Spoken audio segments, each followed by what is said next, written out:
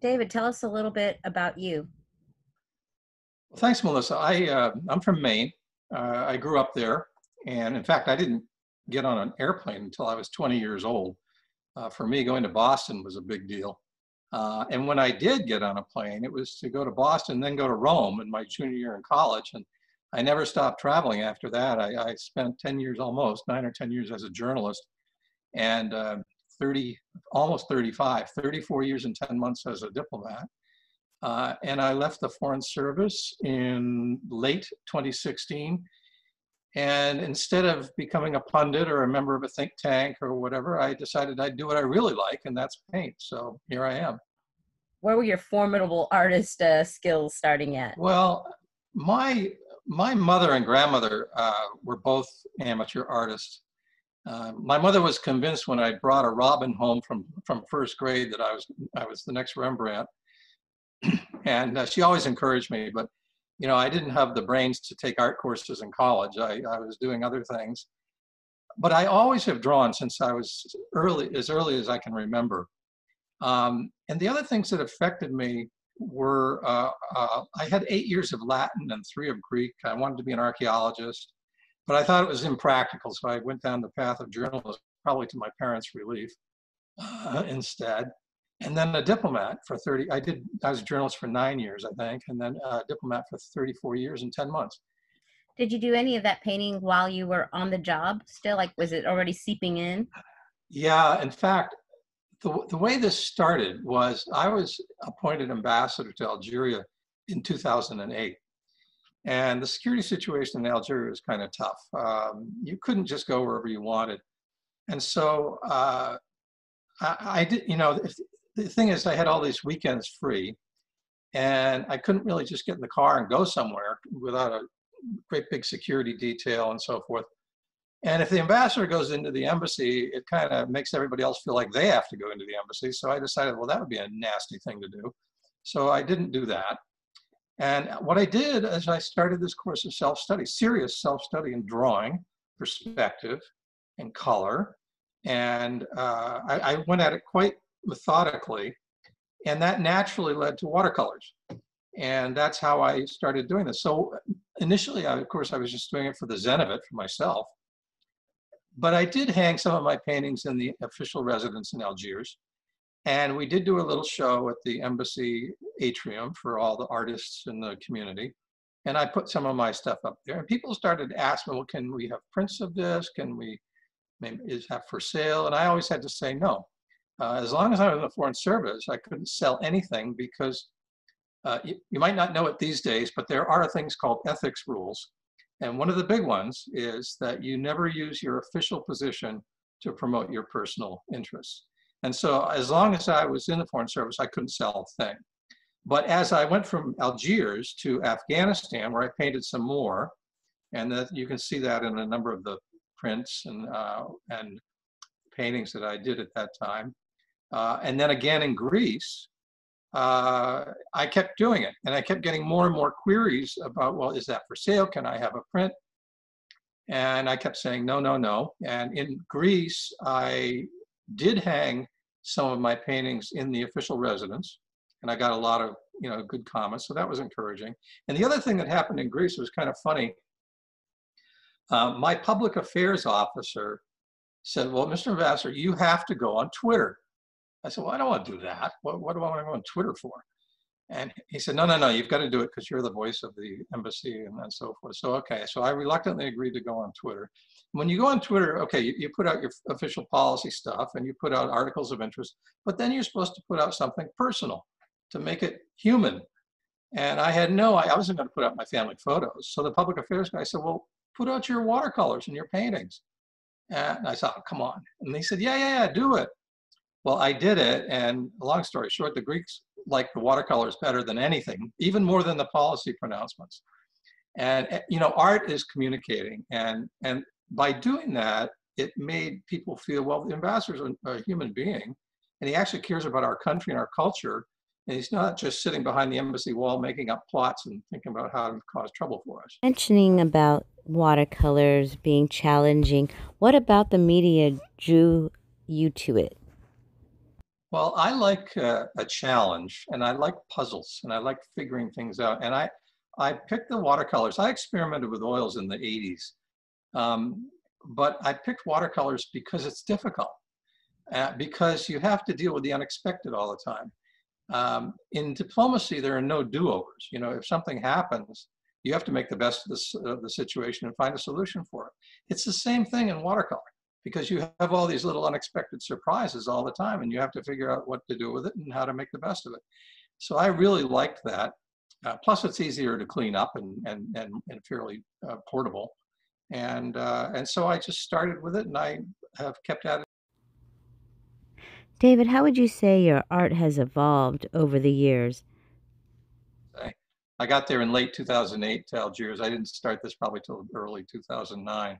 But then I went very systematically through, uh, you know, a course of uh, drawing and perspective and all, you know, the whole nine yards. And, and then a, a similar effort on color. Um, so I, I, uh, I, I, really uh, think that you have to, it's so fundamental to watercolor to have a good drawing.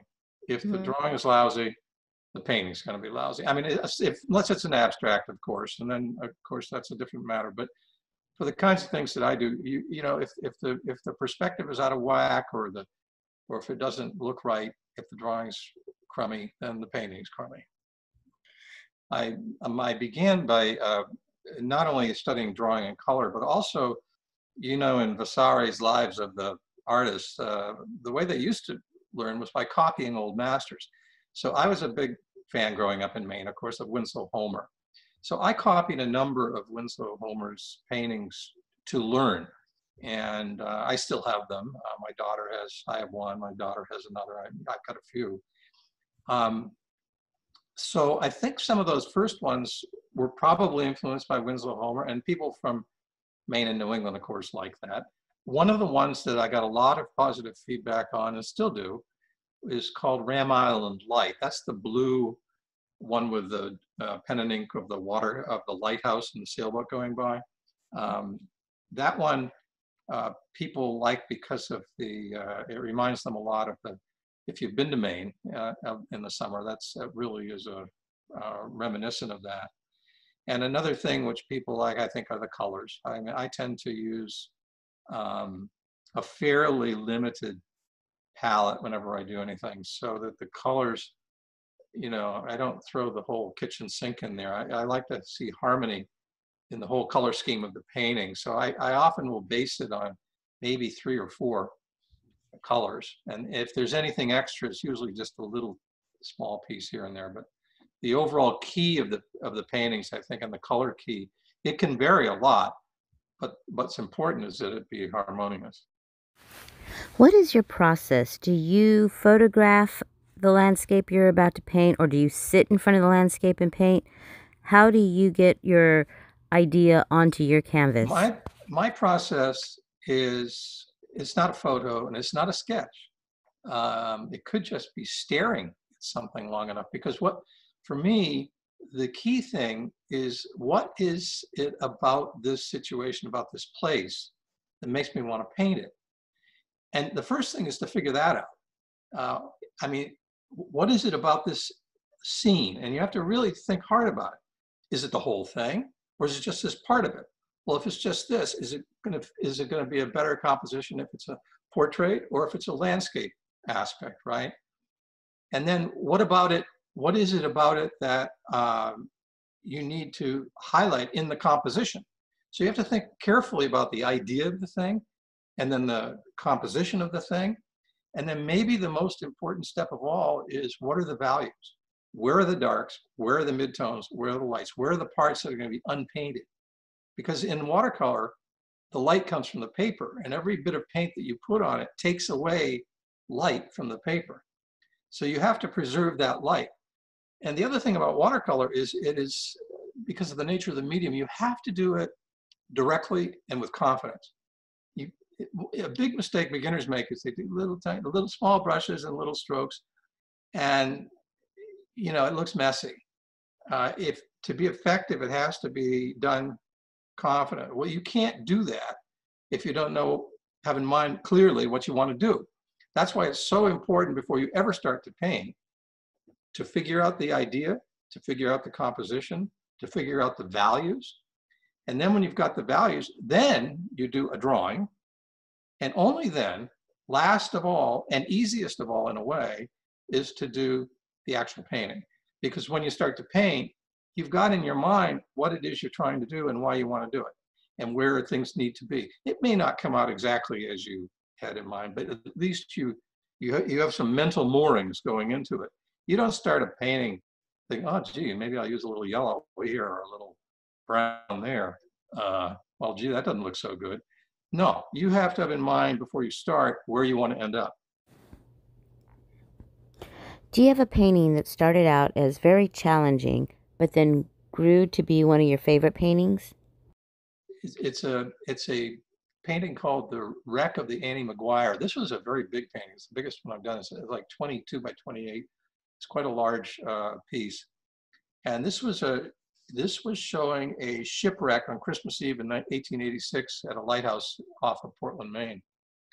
And the thing is, I didn't have an actual picture to go by or even a photograph, just descriptions. I had photographs of the ship when the sea was not angry, when it was just lying on the rock. And I had, and I knew it because I've been there many times, I knew what the sea was like um, when the storm really blew up. And I didn't want to do a conventional lighthouse painting, you know, with white lighthouse and the blue sky and the red roofs. Everybody who ever does it or takes a picture does the same thing. And I wanted to do something totally different. So I did this winter storm scene and I made the lighthouse secondary. It's off to the side. And the key thing is the clash in the middle of the rocks, the ship, and the sea. And I thought that says a lot about the hazards of going to sea and all that stuff and how this happened and men in the sea and whatnot. So that was became the focal point. Well, that was hard to do because doing water that is that violent, it's not easy. And doing a ship with all of its rigging and getting it in proportion to the lighthouse and the rocks and the, you know, that was a real challenge. But it came out uh, pretty well in the end, I think. And uh, um, my wife won't let me sell it. well, that, I can do prints. Yeah, you know that might be the the family treasured piece there. So you know there are some art that stays within a within the family, and that might family member for you guys there. Thank you, David Pearce, for sharing your art experience with us. If you go to the description below, you will find a link to David's collections on geogalleries.com. If you'll hit subscribe and notify, you'll be able to join us every first Friday for another interview with an artist or photographer from Geo Galleries. We wish you a great day.